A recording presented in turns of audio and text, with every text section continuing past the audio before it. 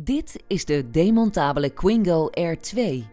Zoals elk Quingo-model heeft de Quingo R2 vijf wielen, twee wielen achter en drie wielen voor.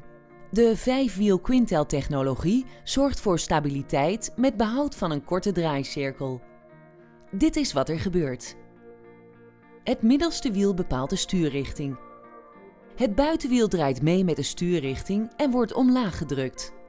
Het binnenwiel blijft recht en wordt omhoog gedrukt, zodat het volledig loskomt van de grond.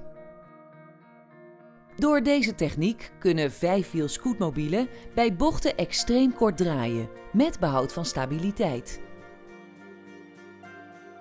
Ook bij het op- en afrijden van stoepjes zorgt de unieke vijfwiel Quintel-technologie voor extreme veiligheid.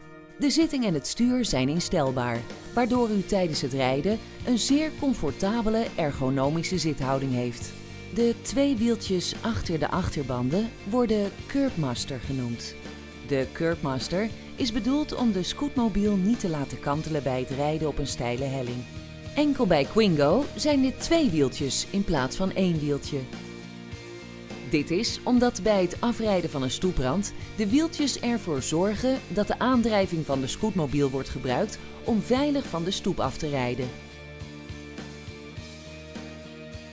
De knoppen van de Quingo R2 zijn voor het bepalen van de snelheid en de toeter.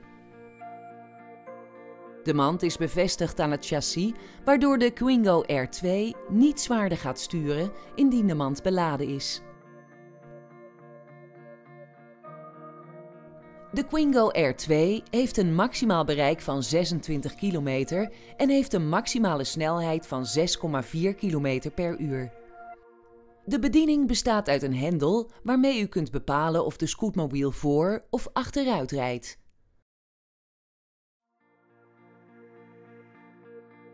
Het demonteren gaat als volgt. Haal eerst de stoel eraf. Dan het mandje. Dan de twee losse accu's.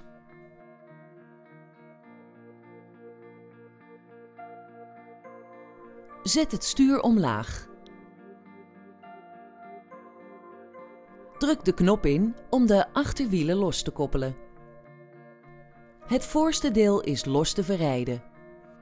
Wilt u een gratis brochure of een vrijblijvende proefrit op de Quingo R2? Neem dan nu contact met ons op door te bellen met 0800 2020 of via het contactformulier op onze website.